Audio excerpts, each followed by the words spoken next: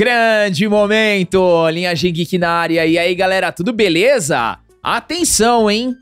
Péssimos sinais estão por vir em relação ao resultado de Kraven. Vamos repercutir aqui a, os números iniciais de Craven, que obviamente não estreou, estreia no mês que vem, mas já estão prevendo o grande flop do ano. Apesar de ainda achar que será o melhor filme da Sony de vilões, infelizmente a Sony vai colher mais um grande fracasso e merecido, tá? Pelo que fez com Venom. Então, eu não entendo alguém que.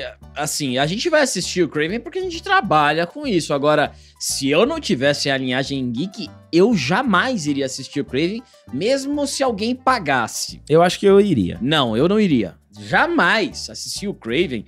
Novamente, não acho que vai ser um filme podre, tão ruim no nível de Madame Teia e o próprio Venom. Que, aliás, eu acho o Venom pior que o Madame Teia. Mas é o universo da Sony. O que, que a Sony tem para te oferecer? Ela só tem filme. Ela tem o Morbius, ela tem a Madame T e o Venom. O que, que você. Você vai animado assistir o Craven? E outra, é um personagem extremamente nichado, assim como Madame Teia. O Venom ainda é popular. O Craven já quem gosta mais ali do universo do Homem-Aranha, ali dos desenhos, dos quadrinhos. É um filme que não tem o Homem-Aranha, só vai ter o Craven. Aí vai ter lá o Rino, etc. Mas é, um, mas é isso. E aí você tem todo o retrospecto da, da Sony.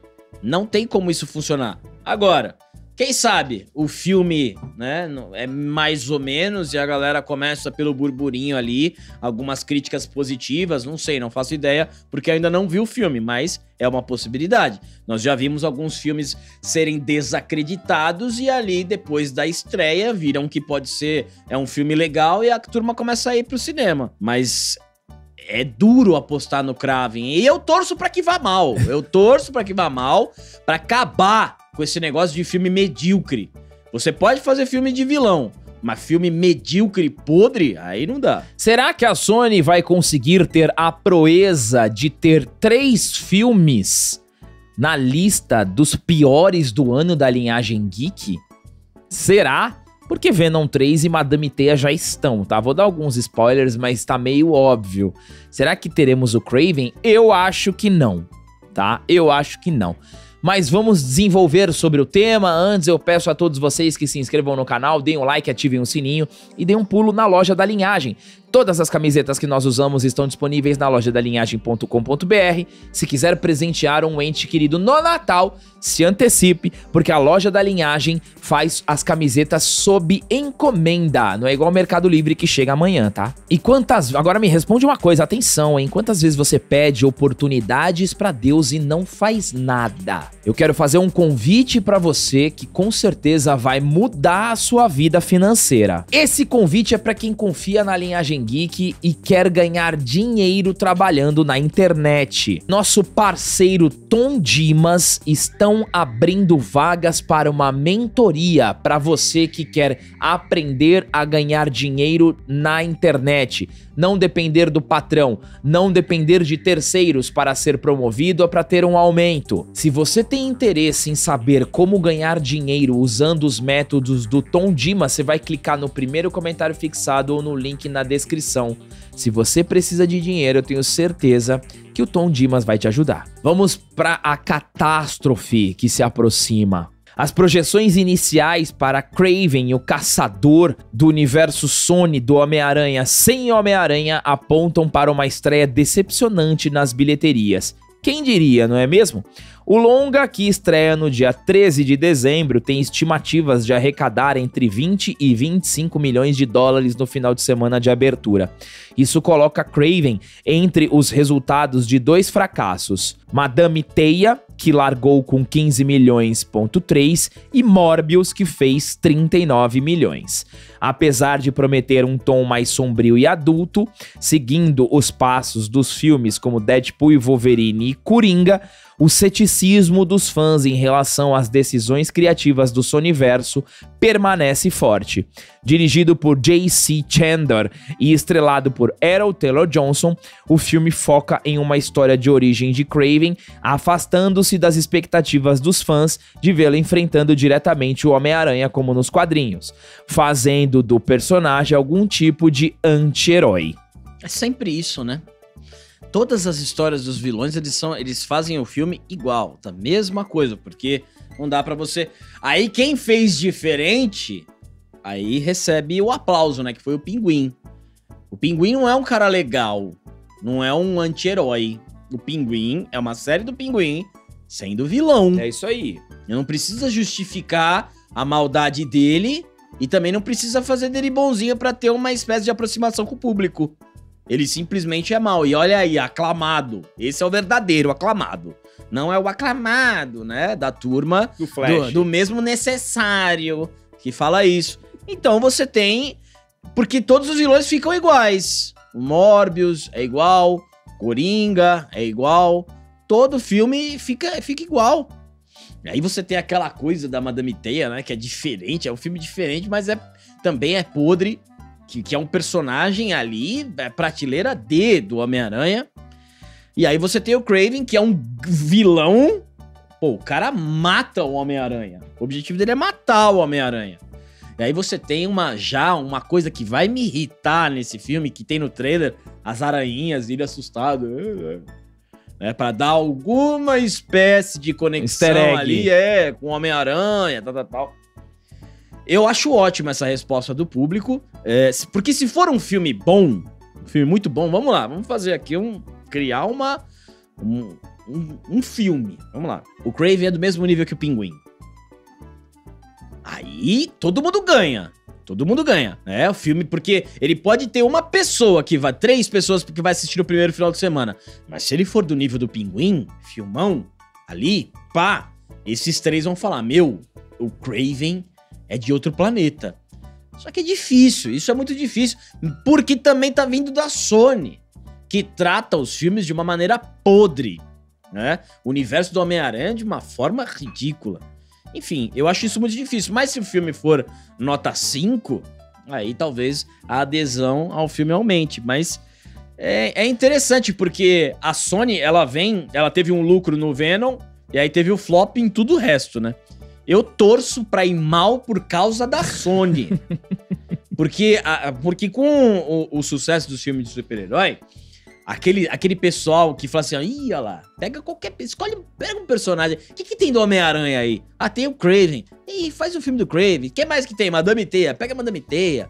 Faz um filme da Gwen. Entendeu? É isso aí. Eles vão indo. Então, quando isso aí vai muito mal, talvez dê um break nessas produções podres que não foram feitas pensando na qualidade, só foram pensadas em morder ali a grande fatia das pessoas que estão interessadas no filme de super-herói, que é a mediocridade. Esses caras querem fazer filme medíocre. Então, filme medíocre, menos filme podre para assistir se esse filme for podre e for mal. Ó, se colocar o, o Craven salvando alguém, qualquer pessoa para mim já o filme já perde três pontos, porque aí você vai, vai rotulá-lo como anti-herói. Porque para mim, pelo que o trailer mostra, pelo que as sinopses apontam, vai ter uma guerra do Craven contra o seu pai e a sua facção, tá? Então você pode estabelecer confronto de dois vilões, que é o que acontece no Pinguim. Né? O Pinguim é um vilão ali contra os Falcone e contra os Marrone. Bruno e Marrone. Beleza. Ali é vilão contra vilão. Se você, pelo que tá parecendo, vai ser assim, tá? O Craven, ele vai ter um confronto contra o seu pai e toda a sua organização criminosa. Se você colocar o Craven é, em um, de, determinado momento do filme matando um civil comum, legal, porque é vilão, tá?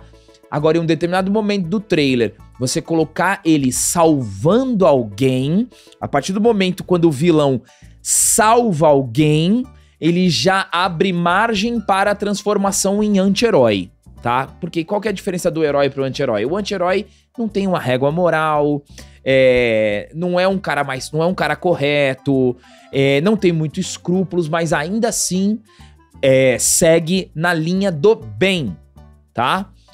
Por isso que eu se, seria interessante você fazer o Craven na disputa de guerra ali contra o, o pai e toda a sua gangue, sem colocar ele salvando ninguém.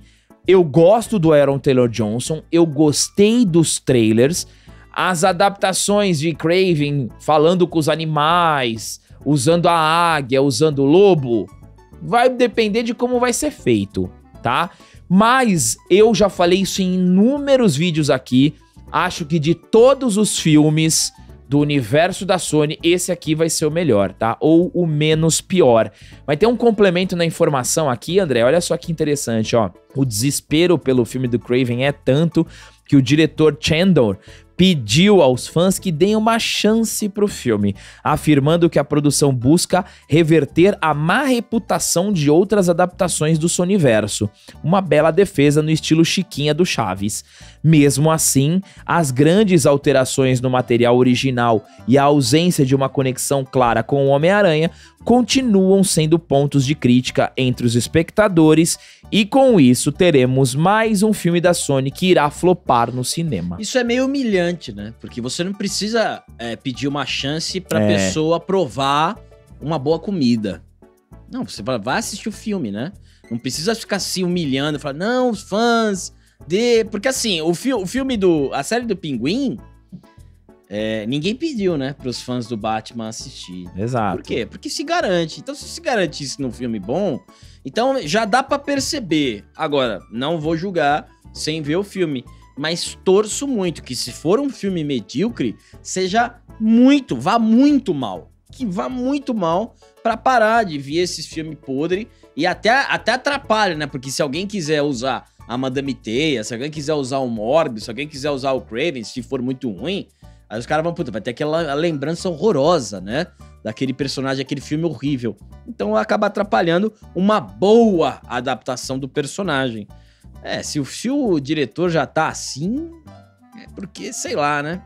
13 de dezembro, cravem nos cinemas e, claro, traremos a nossa resenha aqui na Linhagem Geek. Coloquem aí nos comentários a opinião de vocês, que é sempre muito importante. Obrigado a todos que chegaram até aqui. Deem um triplo C, se inscrevam no canal e até o próximo vídeo.